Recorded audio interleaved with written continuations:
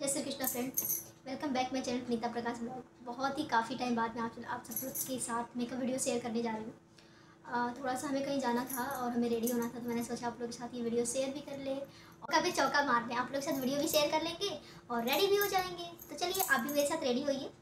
तो स्टार्ट करते हैं मेकअप कहीं पर भी शादी फ़ंक्शन में जाना हो तो हमें कैसे मेकअप करना हो? गेस्ट मेकअप ट्यूटोरियल लेके आई हूँ मैं। तो आप सब देख सकते हो, मैंने अपने फेस को वॉश कर लिया है और कुछ भी आप, बहुत ही नेचुरली मेरा फेस देख रहे हो मैंने कुछ भी अप्लाई नहीं किया हुआ है। एकदम बस वॉश करके आ रही हूँ फेस वॉश से।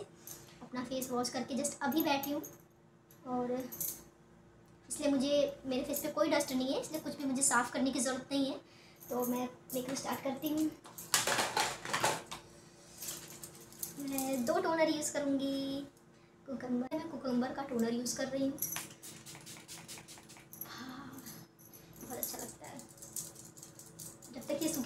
थोड़ा सा लिप को मॉइस्चराइज कर लेते हैं क्योंकि लिप बहुत ही ज़्यादा मेरा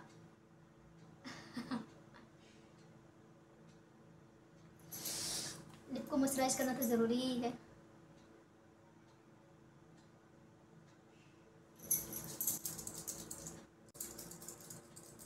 देख सकते हैं मेरा टोनर सूख चुका है। उसके बाद मैं ये रोज़ वाटर यूज़ कर रही हूँ। थोड़ा थोड़ा रोज़ वाटर की खुशबू कितनी अच्छी लगती है, नहीं? बहुत ही ज़्यादा मुझे बहुत ही रोज़ वाटर की खुशबू अच्छी लगती है। रोज़ का खुशबू ही होता है, ऐसा इतना बढ़िया। उसके बाद मैं ये मॉइस्चराइज़र यूज़ करूँगी। आप लोग मुझे तो जानते ही होंगे कि मैंने इसको होममेड बनाया हुआ है, ये मॉइस्चराइज़र ये मेकअप बेस्ड मैंने होममेड बनाया हुआ है। उसका वीडियो भी मैंने अपलोड किया हुआ है। अगर देखा नहीं है तो आप लोग देख सकते हैं इसे। थोड़ा सा मैं इसे लूँगी।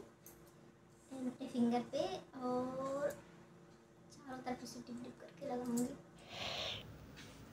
तो अब हम इसको अच्छे से हल्के हाथों से, बिल्कुल सॉफ्ट हाथों से अच्छे से अप्लाई करेंगे मेकअप बेस को अच्छे से स्किन में एब्जॉर्ब करेंगे। उसके बाद मैंने ले लिया है फिट का फाउंडेशन जो ऑल टाइप स्किन के लिए है और बहुत ही ज़्यादा अच्छा है, अच्छे से बिल्कुल मक्खन जैसा फेस पे अप्लाई हो जाता है, अच्छे से आप देख सकते हो मैंने ब्यूटी ब्लेंडर की हेल्प से उसे कैसे सेट कर लिया। बहुत ही फटाक सा एकदम अच्छे से बिल्कुल सेट हो जाता है, बहुत टाइम नहीं लगता। उसके बाद मैंने लिया है सुनिशा फाउंडेशन जो बहुत ही ज़्यादा अच्छा है, आप देख सकते हो कैसा डिफरेंस दिख रहा है। ये लाइट वेट कवरेज बहुत ही ज़्यादा अच्छा लाइट वेट के लिए, अगर हैवी आपको चाहिए कवरेज तो नहीं, उसके लिए सही नहीं है।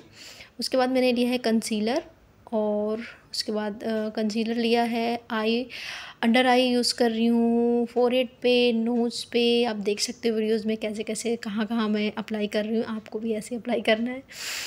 तो उसके बाद फिर मैंने ब्यूटी ब्यूटी ब्लेंडर उठाया और उसको डिप डिप डिप डिप करके पूरा सेट कर दिया अच्छे से। दैन उसके बाद मैंने लिया है ब्राउन कलर का आईलाइनर जेल और उससे मैं अपना आईब्रो डिफ़ाइन कर रही हूँ क्योंकि आप जानते ही होगा इसकी। अगर आईब्रो अच्छे से डिफ़ाइन नहीं हुआ होगा तो मेरा कितनों भी अच्छा मेकअप हो जाए आई मेकअप हो जाए, फिर वो अट्रैक्टिव जो होता है ना, बिल्कुल नहीं दिखेगा ब्यूटीफुल आइज़ नहीं दिखेगी। तो उसके लिए आईब्रो डिफ़ाइन करना बहुत ज़रूरी है। उसके बाद मैंने लिया है लूज़ पाउडर और उसको अच्छे से सेट कर लिया है। देन मैंने लिया है कंसीलर और आई मेकअप बेस के तौर पे उसे यूज़ कर रही हूँ।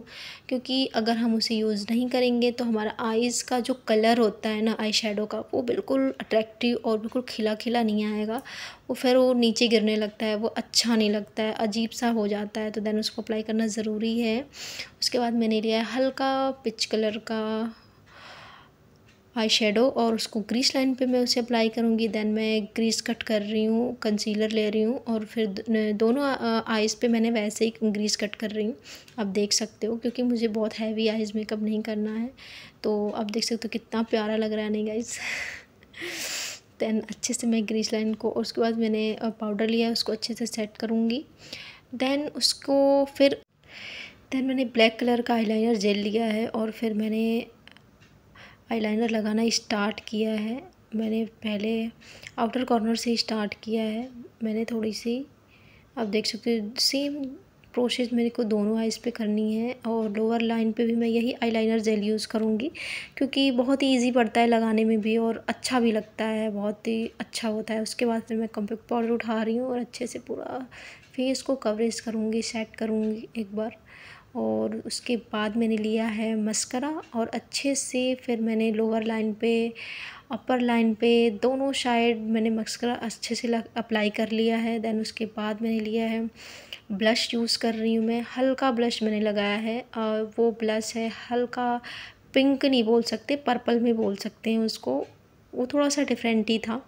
दैन उसके बाद मैंने फिटमिका का कंप्यूटर पाउडर लिया है और फिर अच्छे से उसे कवरेज दे रही हूँ। दैन उसके बाद मैंने लिया हाइलाइटर उसके बाद मैं अच्छे से चिक्स पे, नोज़ पे, हर जगह पे मैं उसे अच्छे से अप्लाई करूँगी। गाइस आप लिप्स वाला मेकअप तो बिल्कुल देखना ही भूलना ही नहीं है, क्योंकि ये मैंने बहुत ही अच्छे से किया हुआ है। मैंने थ्री शेड में ये लिपस्टिक अप्लाई किया हुआ है। पहले तो मैंने सबसे डार्क ब्राउन कलर लिया है और आउटर कॉर्नर पे पूरा मैंने, जिस तो ना कि बिल्कुल लिप्स के आउटर पे मैंने अच्छे से अप्लाई किया है। देन उसके बाद मैंने लिया है पर्पल डार्क पर्पल फिर जो मैंने आउटर पे अप्लाई किया उसके जस्ट नीचे मैंने उसे अप्लाई किया है।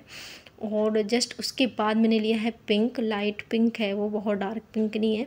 और फिर उस को अच्छे से अप्लाई करेंगे देन तीनों को आपस में मर्ज करेंगे अच्छे से। आप देख सकते हो मैंने ब्रश की हेल्प से अच्छे से मर्ज कर रही हूँ। देन उसके बाद मैंने थोड़ी सी अच्छे से लिप्स को सेट कर लिया है। उसके बाद बिंदी अप्लाई कर लिया है, सिंदूर पहन लिया नेल पेंट लगा रही हूँ। देन गाइस मेरा हो गया है final makeup look I hope सब कि आप लोग को ये मेकअप लुक पसंद आया हो। अगर आप सबको पसंद आया है तो प्लीज़ लाइक करें। और अगर मेरे चैनल पर नए हैं तो मेरे वीडियोस मेरे चैनल को सब्सक्राइब करें और ज़्यादा से ज़्यादा शेयर करें।